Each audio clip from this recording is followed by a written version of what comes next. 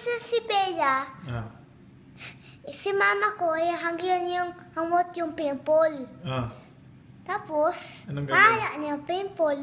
Anong gagawin niya sa pimple? Tapos, sexy, saka, handa. Sino? Si? mama ko, pag nitangkad yung pimple, Ah. pag niya hamot-hamot, Ah, magiging ano na siya, maganda na. hmm, saka sexy. si Tita Hazel. sexy na. Sexy agad sa handa.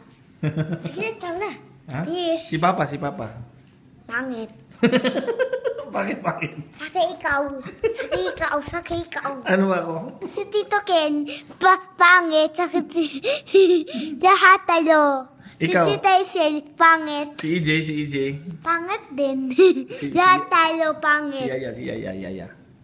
Pangit.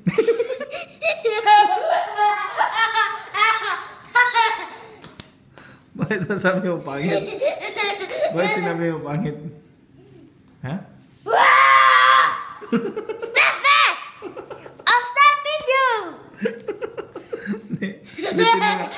Si, mama, si mama, si mama.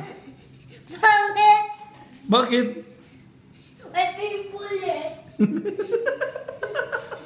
Lumuto.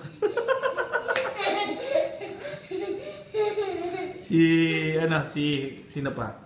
Si Brother JR. Pangit! Bakit pangit? Bakit pangit si Brother JR? Ha? Ha? Ha? Itim eh. Si Tita Erna. Pangit din. Bakit? Bakit pangit? Sino, sino maganda? Wala, si Tita Isel lang. Tama na, para makita ni, Ah. Ni ate. Ito, ito, si ate, si ate. Tapos na! Hey, Tapos na!